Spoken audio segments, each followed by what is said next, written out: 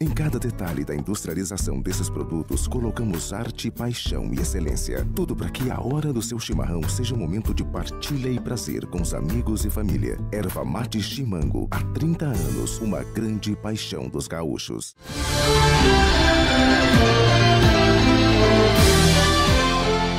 Confira agora as principais notícias da região no Expresso Regional.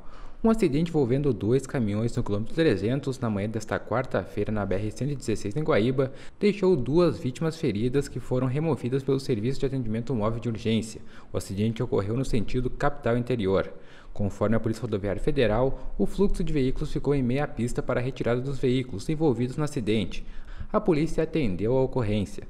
Na manhã desta quarta-feira, na localidade de Correntes, quarto distrito da cidade de Camacuã, foi preso o terceiro indivíduo acusado da participação de roubo à família ocorrida no último dia 20 de agosto na localidade de Passo do Capitão Jango, no interior do município. Por se tratar de uma ocorrência grave, a operação conjunta entre a Brigada Militar e a Polícia Civil se prolongou desde a segunda-feira, onde após diversas buscas na região foram presos em flagrante os primeiros dois miliantes.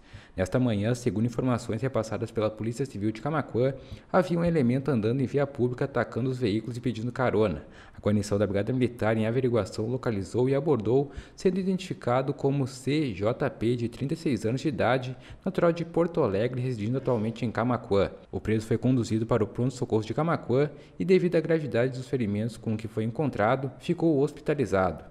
Duas mulheres foram vítimas de assalto no bairro Olaria, em Camacuã, durante a noite desta terça-feira, 21 de agosto.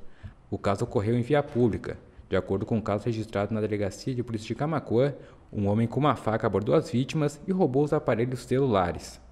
Essas e outras notícias você confere no nosso site www.lagoatv.com.